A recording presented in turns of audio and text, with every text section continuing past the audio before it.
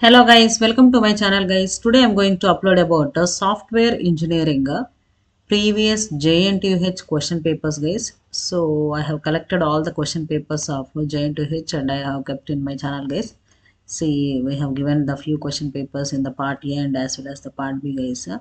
These are the R, R13 regulation question papers guys and uh, please have a look of these question papers all are important like uh, cmmi and uh, you are having functional uh, non-functional requirements uh, about the testing few questions and about the metrics and uh, iso 9001 certifications and all uh, and i have uploaded few r15 regulation uh, question papers also guys.